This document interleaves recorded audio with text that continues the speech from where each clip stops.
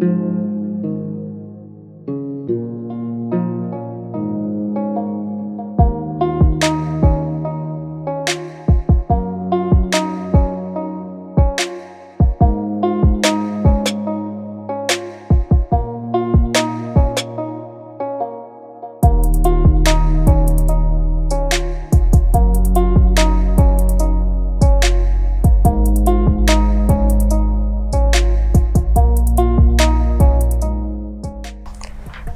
it's definitely our chemistry, and um, throughout my years here, we've been working as like we become a family and doing things together and going out a lot to bond.